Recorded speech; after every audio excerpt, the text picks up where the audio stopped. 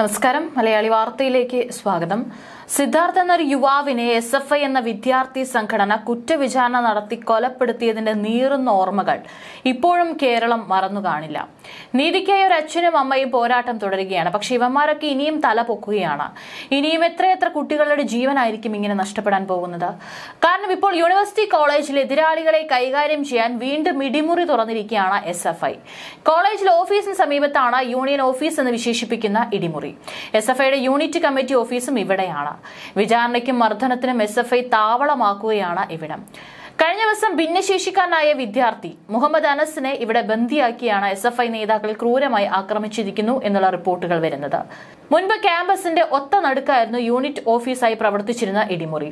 S F I നേതാക്കൾ പ്രതിയായ കത്തിക്കുത്ത് കേസിന്റെ പശ്ചാത്തലത്തിൽ കോളേജിൽ പോലീസ് പരിശോധന നടത്തുകയും ഇടിമുറിയിൽ നിന്ന് ഒഴിഞ്ഞ മദ്യക്കുപ്പികളും ആയുധങ്ങളും കണ്ടെടുത്തുകയും ചെയ്തിരുന്നു.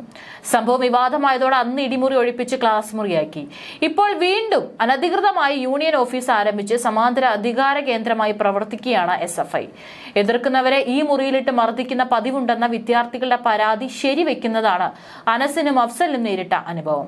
രണ്ടാം വർഷ വിദ്യാർത്ഥി മുഹമ്മദ് അനസിനെ ഒരു മണിക്കൂറോളം തടഞ്ഞുവെച്ച് ആക്രമിച്ച എസ് എഫ് ഐ നേതാക്കളിൽ സീനിയർ വിദ്യാർത്ഥികളുമുണ്ട്. സമൂഹത്തിൽ പ്രത്യേക പരിഗണന നൽകേണ്ടവരാണ് ദിവ്യാംഗർ പ്രതിസന്ധികളെ തരണം ചെയ്ത് ജീവിതം മുന്നോട്ട് കൊണ്ടുപോകുന്ന അവർ മറ്റുള്ളവർക്ക് മാതൃകയാണ്.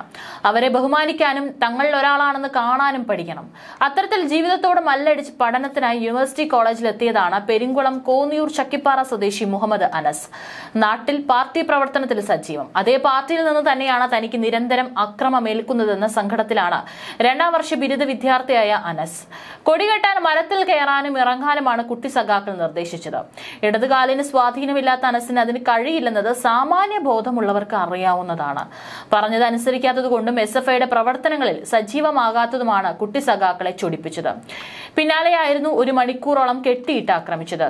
പറയുന്നത് കേട്ടില്ലെങ്കിൽ കാൽ വെട്ടിയെടുക്കുമെന്നായിരുന്നു സ്വാധീനമില്ലാത്ത കാൽ ചവിട്ടി ഞെരിച്ചുകൊണ്ട് S F I unit president ഭീഷണി മുഴക്കിയത്.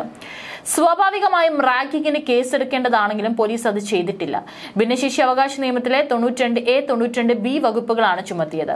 രാഷ്ട്രീയ ഇടപെടലും പ്രതികളിൽ ഒരാൾ പോലീസ് ഉദ്യോഗസ്ഥന്റെ അടുത്ത ബന്ധുവായതും കാരണം പ്രതികളെ പിടിക്കാതെ പോലീസ് ഒത്തുകളിക്കുന്നുവെന്ന ആക്ഷേപമുണ്ട്. ഇടിമുറിയിൽ S F I unit committee ഭാരവാഹികൾ വിദ്യാർത്ഥികളെ വിളിച്ചു വരുത്തി വിചാരണ നടത്തുന്ന ദൃശ്യം പുറത്തു വന്നിട്ടുണ്ട്. മൂന്നാം വർഷ ബിരുദ വിദ്യാർത്ഥികളായ രണ്ടുപേരെ യൂണിറ്റ് ഓഫീസിലിരുത്തി ഭീഷണിപ്പെടുത്തുന്നതാണ് ദൃശ്യത്തിൽ. പത്തോളം വരുന്ന എസ് എഫ് ഐക്കാർ വളഞ്ഞു നിൽക്കുമ്പോൾ യൂണിറ്റ് ഭാരവാഹി തല്ലി തീർക്കാൻ വെല്ലുവിളിക്കുന്നതും ഇതിൽ കാണാം.